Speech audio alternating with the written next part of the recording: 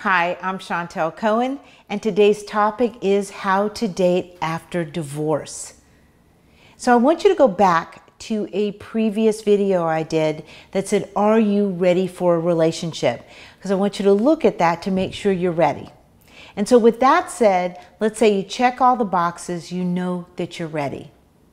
So, I want you to know that dating has changed a little bit. And so, if you've been off the market for a while, the time there's a there's a woman named Esther Perel who's a relationship, not exactly. She's more of a, a, a sex therapist and expert on on sex, re, sexual relationships, etc. I'm stumbling over that. Sorry. But Esther Perel is pretty amazing. And what she's talked about, I really have seen in my practice, which is the time between, let's say, 20 years ago, the time between courtship, like asking someone out on the first date, is, is pretty, it's, it's short. And so, for example, um, somebody asks me out, we go out on a date, it may take several dates, and now we're kind of in a courtship phase. That doesn't happen so much anymore.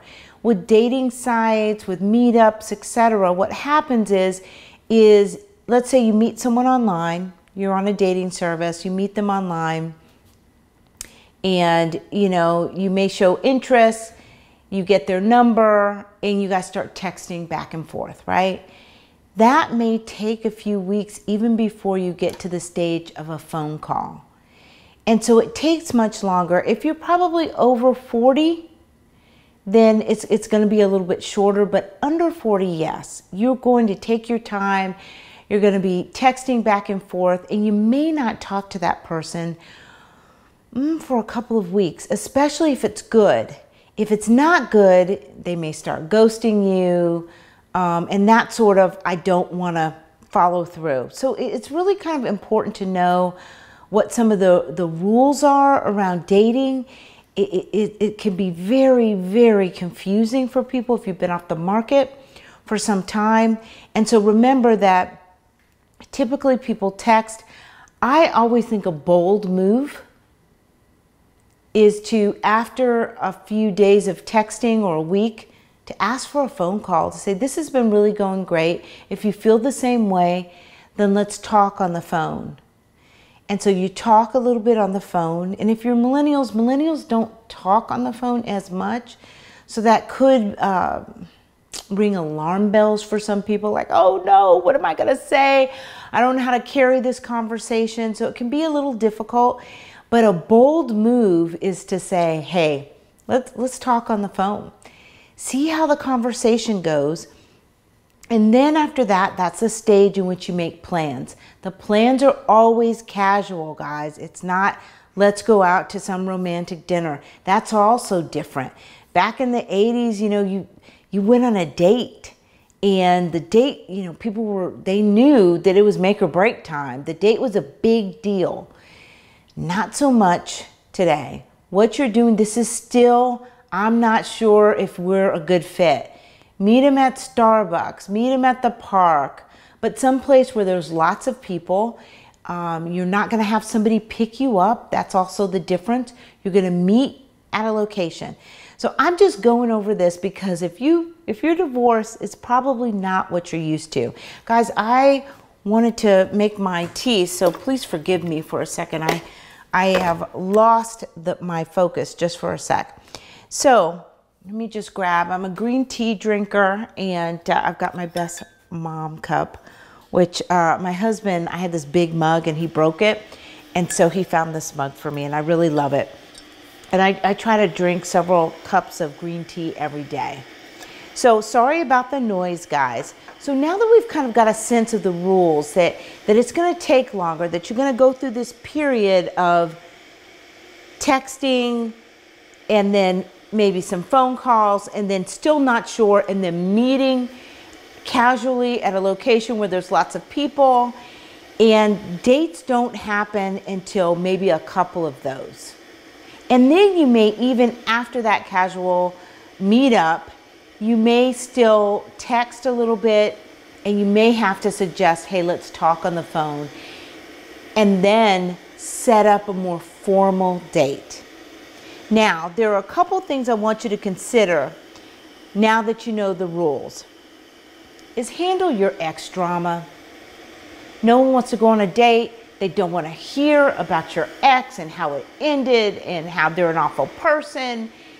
Nobody wants to hear that sad story. That is for another time where you're officially a couple and you two have decided that this is the thing. So make sure that when you date, you you want to have a few topics that you talk about.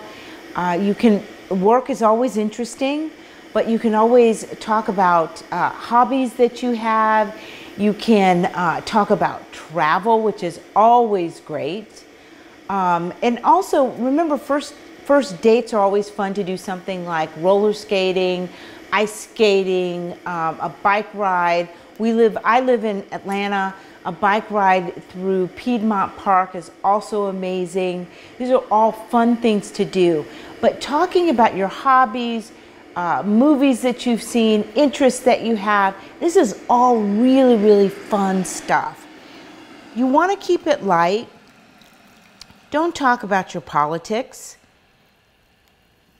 That's probably for a, another time to talk about politics. And so keep make sure that before you go out, you think of things that you might want to bring up and talk about. It's like an interview, guys. You're trying to see if this person is a good fit for you. Make sure that you ask questions about them, that you're not just thinking about what you're going to say to them about yourself, but really be interested in the person who's in front of you. And if I were, uh, you know, your your coach in terms of dating, this is a pet peeve of mine. Do not keep your phone on the table. Put your phone away. Give your full attention to that person. It, it, it is it feels rude, and so if you have kids at home, then you may want to say, you know, please forgive me. I'm going to leave my ringer on because I've got kids at home and they may need to call me but then put it away, leave your ringer on so that you can hear it. So just in case, and for those of you that have an Apple Watch, which I'm normally wearing my Apple Watch, you can see who's calling. So ex drama, don't want to hear that. Talk about topics that are interesting and fun and lighthearted. And also, I just I think this is given. Don't don't bring your kids to a date. Don't talk about uh, your kids too much. I mean, it is fair to let the person know that you're a parent, but I wouldn't spend time on a date talking about your children. So make sure that people always think about the person that they want, but think about who you want to be in that moment. You want to be an interesting conversationalist. You want to be able to ask questions that stimulate more questions from the person across the table from you. You want them leaving there knowing a few things about you. So, for all you newbies, congratulations. I hope this helps. Go back and review the video about Are You Ready to Date? And I'm Chantel Cohen. Please, please, please follow us on Instagram, Twitter, Facebook. Also, if you are in a relationship, go to becomeoneagain.com and take the Fixer Connector quiz. You want to know who you are and your needs and what you need to meet potentially the person that you may be dating right now. Until next time, I'm Chantel Cohen and I help couples become one again. See you soon, guys.